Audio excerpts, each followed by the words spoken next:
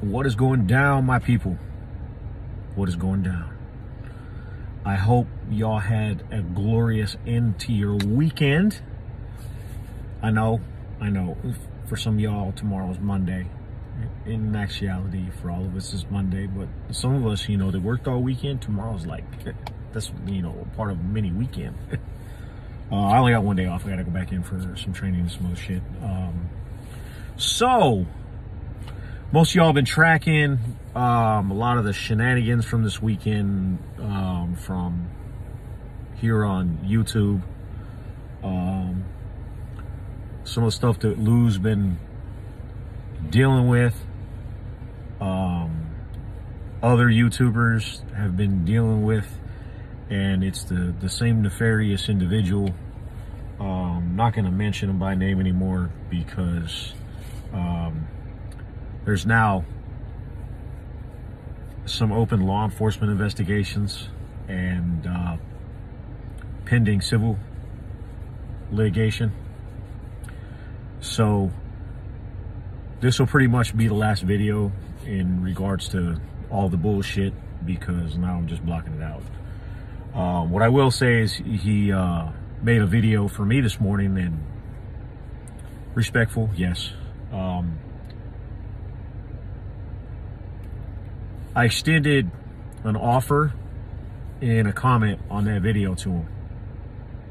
Very nice, pleasant, professional. Hey man, sorry about your wife and what she's going through. Uh, most of this is just good, clean fun. You just took it a step too far. It's what it is, dude. Um, we can joke. We'll just joke about other shit, what it, whatever it be put down my Spaghetti at gmail.com email address and hit me up. Let's talk about it offline, outside of all the eyes. Um, try to, you know, take some of those hot coals off. Um, he didn't threaten me, so he threatened me, he'd already be in custody. There's consequences for that, and I think I think he understands that. Um, I always try to help situations out a little bit. Uh, yeah, we like to talk some shit here and there, but like I said in that video yesterday, uh, dude, we've gone after Trey. Trey's gone after us. We've gone after Phil. I, I, watched a couple of Phil's videos this morning. I threw him some props. Mad respect for you, Phil. Um, you're part of the family, man.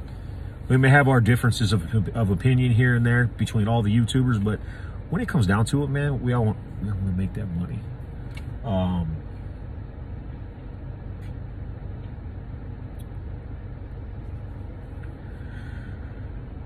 this stupid shit from this weekend, unfortunately, it, it's only going to hurt um, one person and his family. And I wish he would heeded my warnings yesterday with the video, and I know he watched it and done what I suggested, but he didn't, and he continued today. So not only did he threaten one person, but he threatened multiple people. And now multiple people are talking to one another because they saw everyone else's videos. And it's sad. And we're adults. There's consequences for our actions. I understand the different criminal acts that were committed and the elements to those crimes. So I know when stuff like that's been completed. Unfortunately, there's that line in the sand you just can't cross. You can talk some shit, but there's lines you can't cross. And a lot of those lines were crossed. Um, it's unfortunate because, like most of us, even though we may talk some shit, we want to keep it lighthearted. We want to have some fun because we're all stuck. We're all stuck in this play, waiting for it to fucking play out, waiting for it to finish, waiting for him to cover, waiting for us to get paid. Like Phil says, every one of his videos, did, did shorts cover yet? So we try to throw some entertainment value out there of, hey, you know, let's have some fucking fun with each other. Some people react a little differently and they get a little emotional. Some people are going through some stuff in their life. Some people are completely full of shit. uh, unfortunately, with a lot of that, uh, you, you got to really take it with a grain of salt. And I think the number one lesson that everyone should learn this weekend is don't involve your family in social media. If you're going to be a public figure and a high profile public figure, don't involve your family in your social media because they become a target. Willing or un, it doesn't matter. Look at what they did to President Trump's freaking family the entire time he was in the White House, uh, the entire time he was running. Man, they harassed his son, his youngest son. Everyone's fair game. Once you put your face up here and you associate yourself with different stuff, it's what it is, dude.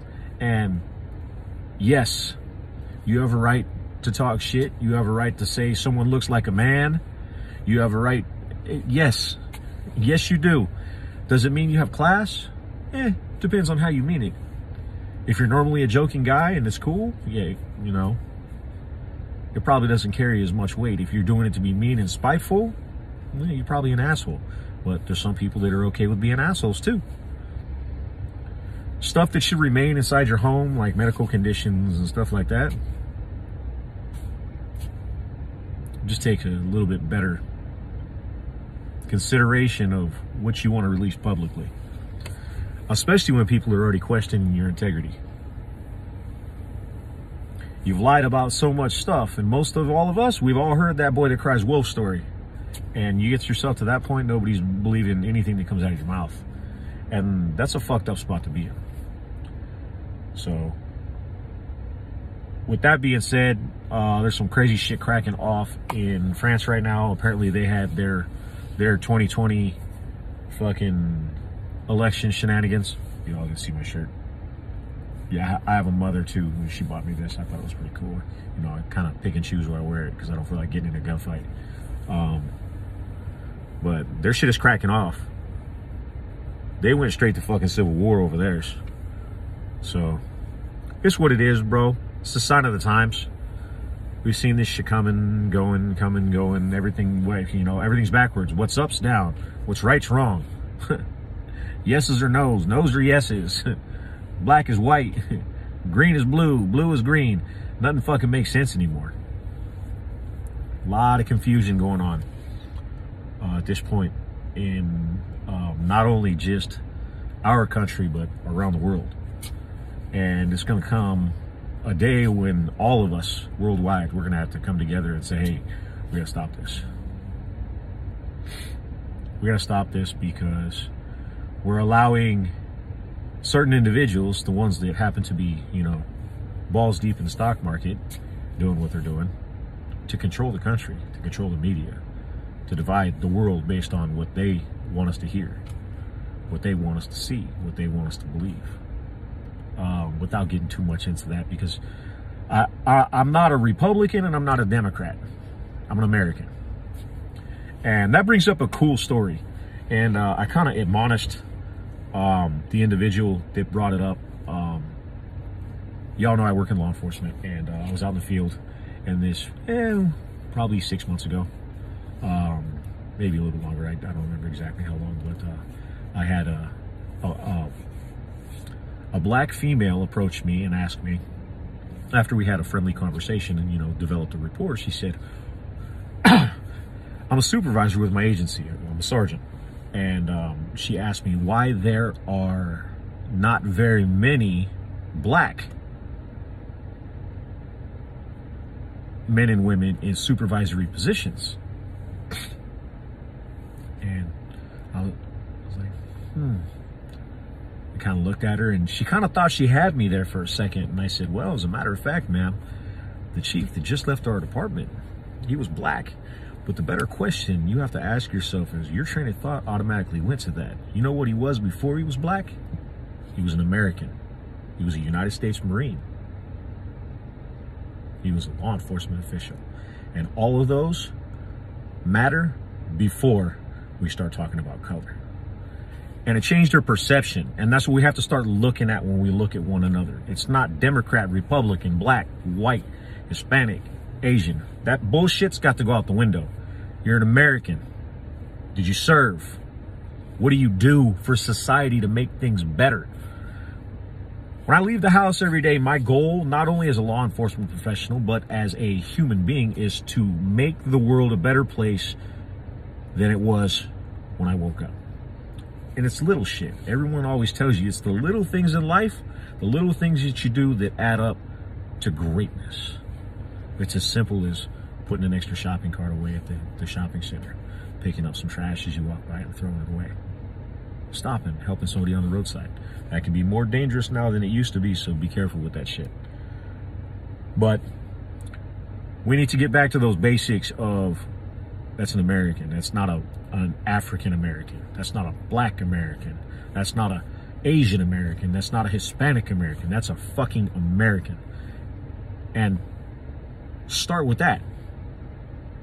That's a father. That's a son. That's a brother. That's an uncle. They want to dehumanize us. They put us in masks, covered our faces, locked us down, wanted to keep us away from one another for how long? That was to dehumanize you. So you weren't seeing people's smiles. You weren't seeing people's facial expressions. That cost. Whether you guys see it or not now, that cost. Let's not let these elite motherfuckers that are all up in our banks, the stock market, politics, divide us, dehumanize us. We got to get the hate out at our level and then come together and get them out at their level. So, without jumping on a soapbox, because uh, y'all heard me preach for long enough today, um, I hope you, got, you guys have a uh, great night tonight, tying off your weekend. You got everything done you needed to get get done this weekend, and you guys have a glorious week. Uh, Lou already put the pre-market um, video up, so jump on there get in the comments, check out what's going down for tomorrow, put your input in there, takes your input out. Um, when it opens up, I know out here on the West Coast it's zero one, but it depends on platform. Uh, jump on there, see what's moving. Use your head. Nobody's going to tell you when to get in. Nobody's going to tell you when to get out. But I'll tell you right now, if you, when you do, and if you do, get in, get out.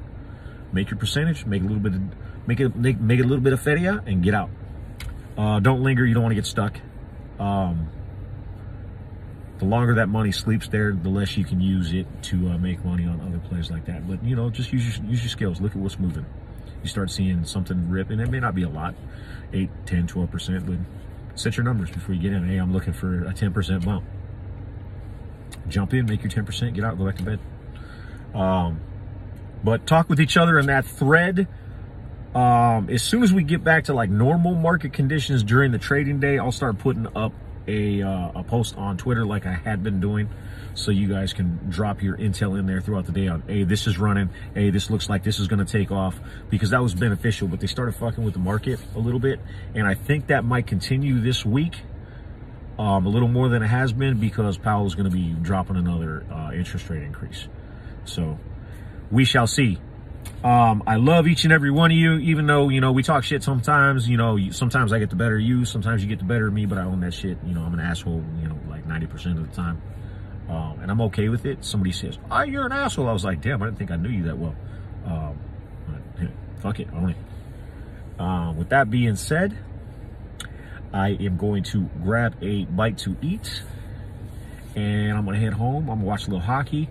I'm to kick my feet up and I'm going to enjoy my day off tomorrow. So if y'all have any questions, excuse me, if y'all have any questions, you can drop me an email, drop a comment down below. You can send me a uh, direct message on Twitter. You can send me a direct message on Instagram. I'll get to those as as often as I can. But you got to understand, there's a grip of y'all out there, and when you guys all dump into the the inbox at once, it kind of overwhelms me because I got other shit going on too. Um, like I said, coming out of this, don't put your family on social media if you don't intend them to be a target. I have three sons on Twitter with me. They're men. Everyone catch that? They're men. My little ones, you won't ever see pictures of them or otherwise protect them, and you should too. There's a lot of evil out in the world, so don't be posting pictures of your little ones on social media. It is definitely not a conducive environment to protecting your family, as well as uh, if you do or don't have a, another half. I mean, that's a hot button for a lot of people. So uh, don't even make it available, man. Um, unless you got really thick skin, but even then, everyone has a bad day. So uh, you don't want to have a bad day like someone had this all this whole weekend. So um, yeah, hit me up, and I'm sure I'll be on tomorrow. We'll talk some shit. We'll have some fun. Maybe there'll be some shit moving in the market. Maybe not. I don't know. I'm not the fucking stock market genie. I have no idea. Are we gonna get fucked tomorrow? We're gonna make some money tomorrow. Are, are the hedges gonna get fucked tomorrow? Are they gonna make some money? I don't know. I got nothing. I'm looking at the same screens you all are. So check out that that P, that that PM that pre-market uh, video for Lou. Get down in the comments uh, if you you're looking to make a little bit of a little bit of change here and there, a little bit of money here and there. Um, it's definitely worth a, uh, a go if uh, you got some cash to play with. I know times are tight, but uh, that's a, a good way to uh, get involved. If you guys haven't checked out Christian yet on playing options. Um, he's a great teacher. He's got a Discord to teach you guys how to um, make money on options. Because a lot of shit now, with it taking a nosedive, you guys can make money on puts. So I'm not going to get into that in detail. Christian does a, a, great job teaching new investors. Even, you know, you've been in the market two, three years as a retail investor, you're still a new investor. So it'd be something good to get into um, and uh, learn from Chris.